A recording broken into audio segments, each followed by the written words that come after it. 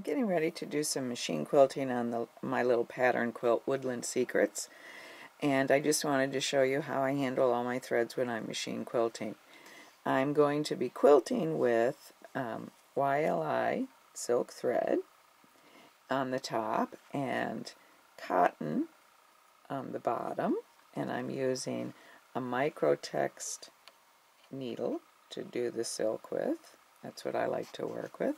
And before I actually start quilting, I'm going to take a little manual stitch and bring my bottom thread up to the top so that when I start to quilt, I'm going to hold the two threads with my finger as I get ready to start.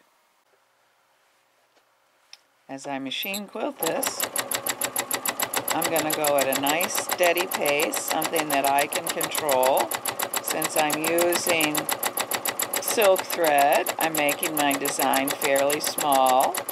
And I want to be able to keep my hands and my feet, the speed of my foot, at about the same speed so that my stitches stay even and consistent. When I get it all done with the quilting on this, I'll show you how I bury the threads. Here's my nice little stippling in the background area behind my jack in the pulpit. And now I'm going to get ready to bury these threads.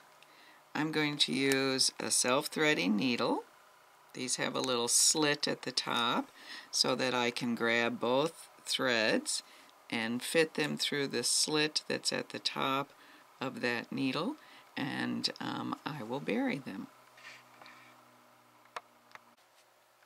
Okay, I'm going to take these two little threads and I am going to just knot them together.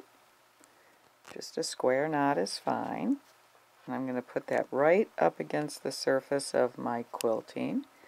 I'm going to grab my needle and because it has a little slit at the top, it allows me then to just pop both threads right through the top like so and then I'll be able to put it right back in where it came out and pull it and pull it tight. Like so. Give it a little tug so that it's taut and come in with my scissors and clip it.